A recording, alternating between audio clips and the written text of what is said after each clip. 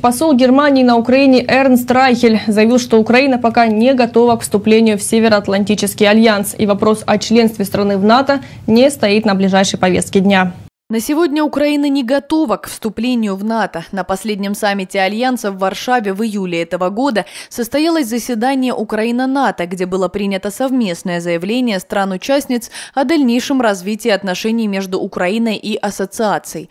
Руководители стран-членов НАТО в итоговой декларации саммита в Варшаве заявили о своей приверженности политике открытых дверей, что в будущем даст возможность Украине при соблюдении всех взятых на себя обязательств получить членства. Хотя вопрос о членстве не стоит на ближайшей повестке, говорится в сообщении посла. Ранее бывший генсек НАТО Андерс фон Расмуссен заявлял, что Украине для вступления в альянс необходимо достигнуть ряда критериев, что займет большое количество времени.